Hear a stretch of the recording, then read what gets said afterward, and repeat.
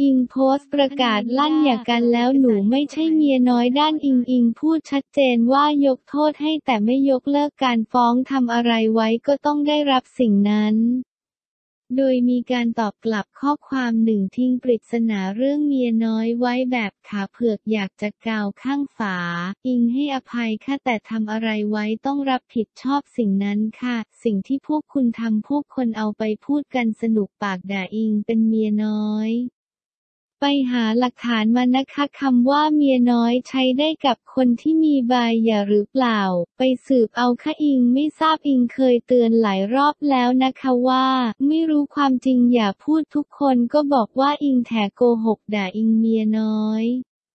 และก่อนที่อิงจะได้งานนี้อิงโดนถอนแคนเซิลงานทุกงานข้านอกจากนั้นยังโดนสังคมรุมด่าประนามทั้งที่ไม่ใช่เรื่องจริง อยากรู้เรื่องไปสืบเอาเองค่ะอยากสู้ก็หาหลักฐานมาค่ะเตือนแล้วไม่ฟังควรได้รับบทเรียน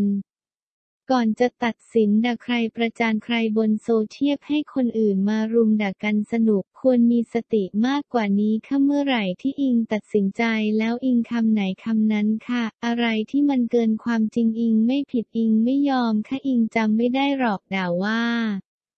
น้องด่าอะไรอิงบ้าง แต่ถ้าพูดถึงเรื่องความเฟียสพี่เฟียสกับสิ่งที่พี่โดนกระทำค่ะ เอาเป็นว่าเข้าใจตรงกันนะคะ อธิบายขนาดนี้ถือว่าใจดีมากแล้วหมายสารถึงแล้วก็ควรไปแค่อย่าหนีจะเป็นคดีติดตัว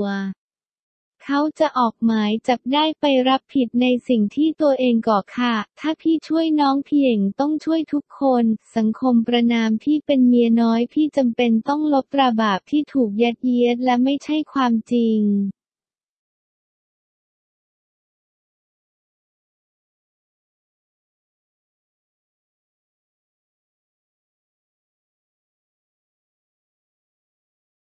Thank